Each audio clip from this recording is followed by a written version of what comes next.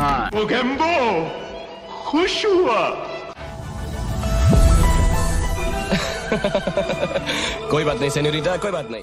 पहले के जमाने में किसी एक जगह पर ड्रामा या नुक्कड़ करके दर्शकों का मन बहलाया जाता था। लेकिन फ्रांस के लूमियर ब्रदर्स ने सन 1896 में भारत की पहली साइलेंट शॉर्ट फ़िल्म बनाई। कह सकते हैं कि उस वक्त से इंडियन फ़िल्म इंडस्ट्री ने अपनी दस्तक दे दी थी। लेकिन भारत में विधिवत फ़िल्म मेकिंग की शुरुआत हुई सन 1913 से जी हाँ सन 1913 में दादा साहेब फाल्के ने भारत की सबसे पहली लंबी फ़िल्म या यूँ कहे पूरी फ़िल्म रिलीज़ की, जिसका नाम था राजा हरिश्चंद्र। ऑफकोर्स ये फ़िल्म भी साइलेंट और ब्लैक एंड व्हाइट ही थी, लेकिन दादा साहेब फाल्के की राजा हरिश्चंद्र से भारतीय सिनेमा की शुरुआत हो चुकी थी। मज़े की बात तो यह है कि इस फ़िल्म के प्रोड्यूसर, डायरेक्टर और कैमरामैन दादा साहेब फाल्के ही थे।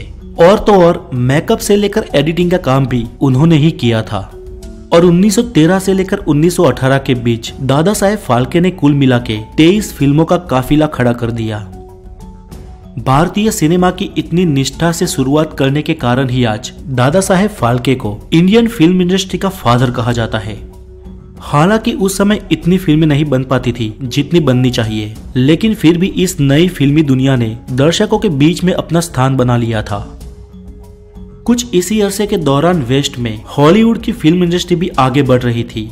तब भारतीय फ़िल्में ज़्यादातर ऐतिहासिक या पौराणिक हुआ करती थी तो हॉलीवुड की फ़िल्में एक्शन फ़िल्म हुआ करती थी।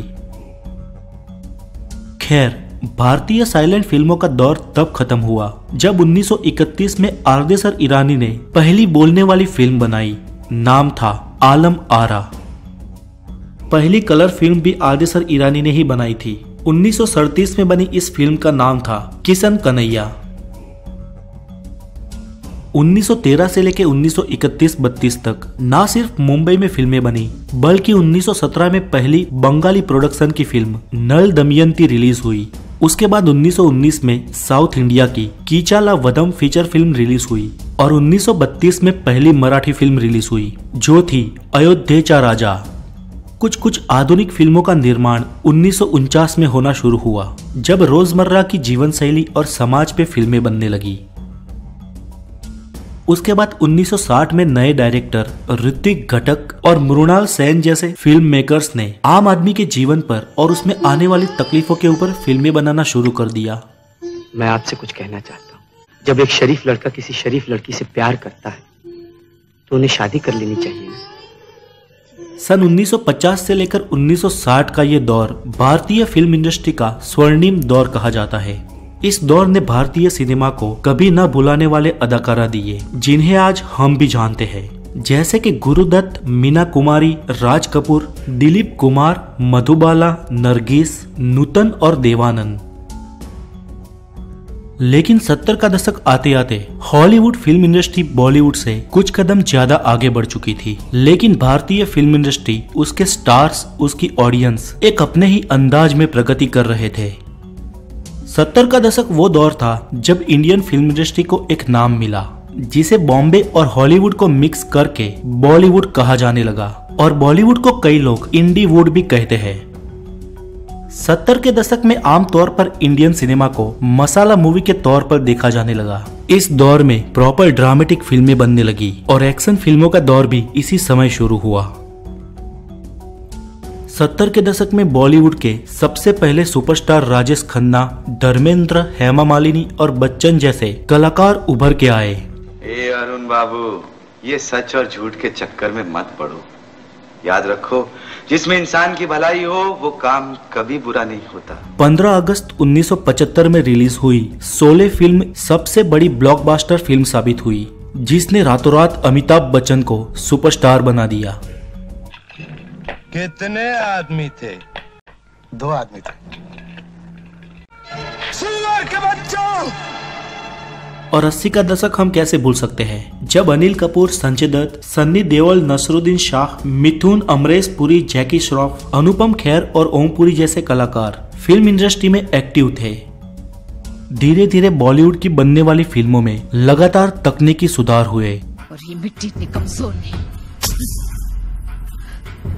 तमाशा अब खत्म हुआ। और नब्बे के दशक की शुरुआत हुई। इस समय ने माधुरी दीक्षित, जूही चावला, अक्षय कुमार, सुनील शेट्टी जैसे कलाकारों को बनाया। तो इसी समय में बॉलीवुड के तीन बड़े स्टार उभर कर आए। सन उन्नीस सौ चौरानवे में रिलीज़ हुई हम आपके हैं कौन? सन उन्नीस में रिलीज़ हुई दिल वाले दुल्हनिया ले जाएँगे। और उन्नीस सौ छियानवे में रिलीज़ हुई राजा हिंदुस्तानी। इन तीन साल में रिलीज़ हुई तीनों फ़िल्मों ने बॉलीवुड के तीनों खानों को लाइट में ला दिया। चौरानवे की हम आपके हैं कौन ने तो बॉलीवुड का तख्ता ही पलट दिया। दरअसल उन्नीस सौ चौरानवे तक लंबे समय से बॉलीवुड में एक्शन फ़िल्में बना करती थी। लेकिन राजश्री की हम आपके हैं कौन ने बॉलीवुड का मारामारी और एक्शन फ़िल्मों से अलग एक सामाजिक फ़िल्म का अनोखा रूप दर्शकों के सामने पेश किया। और उसके बाद हम साथ साथ है और कभी खुशी, कभी गम जैसी कई सामाजिक फ़िल्मों का निर्माण हुआ। तो सन उन्नीस की डीडीएल जैसे लव स्टोरी का युग शुरू हुआ। 21वीं सदी की शुरुआत में ही बॉलीवुड में एक नए सुपरस्टार की एंट्री हुई। राकेश रोशन की होम प्रोडक्शन कहो ना प्यार है ने ऋतिक रोशन को एक ही रात में सुपर हीरो बना दिया। और उसके बाद तो बॉलीवुड कभी ना रुकने वाली एक जलधारा के समान आगे बढ़ता रहा। दुनिया में तीसरी सबसे बड़ी फौज हमारे यहाँ आपके यहाँ फिर भी मैं आपके सामने झुक के आपको प्रणाम करता हूँ, क्योंकि हम किसी को अपने आप से छोटा या कमज़ोर नहीं समझते। नमस्ते। आज के दौर की अगर बात करें तो बॉलीवुड पहले से बहुत बदल गया है। साथ ही यहाँ सिर्फ़ भारत के लेवल पर ही नहीं, लेकिन अंतरराष्ट्रीय स्तर की फ़िल्में भी रिलीज़ होती है। आज इंडियन सिनेमा के हर प्रोडक्शन हाउस की फ़िल्में दुनिया के और कई देशों में दिखाई जाती है।